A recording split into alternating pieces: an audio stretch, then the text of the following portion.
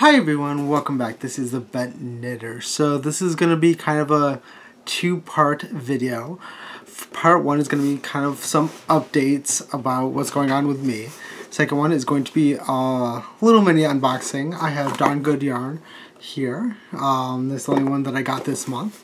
So the update is this is probably going to be my last video from this location um, because I am actually moving again as I am one to do quite a bit. So my time in this location has come to an end. So again, this is probably my last video from here. Um, don't worry, I'll st still be doing more videos um, in the future. Um, so next week I'll, I'll figure out where I'm going to shoot from next week. Most likely I'm going to do a quick little review on some yarn.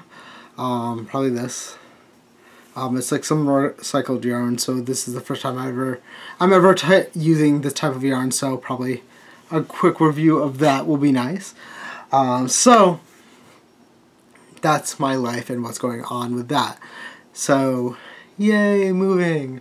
And you'll get to see how, in a couple weeks, probably a month, where I end up. And also, my storage situation, as always, is something new and challenge. Hopefully I'll be able to use what uh, my friend made here or something similar to the setup because I really like it. So we'll see how that kind of develops once I actually get settled in my new place.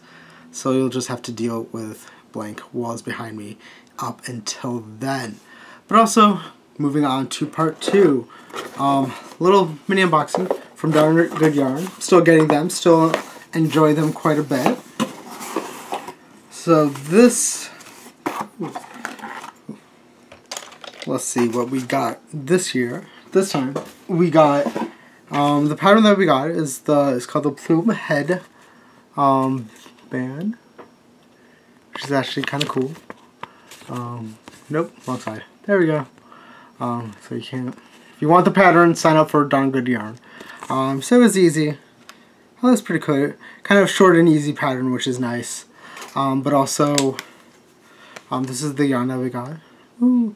I love how colorful all the yarn that I've been getting from Darn Good Yarn. It's very nice. It's, let's see, Silkwick Yarn, Wild Birds of Paradise.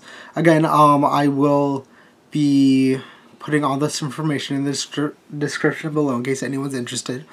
Um, this is actually recycled silk. Ooh. Also, the other thing, is kind of this brass thing. I don't know what I'm going to use this for. Um, because it has... If y'all know what to do, what I should do with this or have any ideas, let me know in the description below.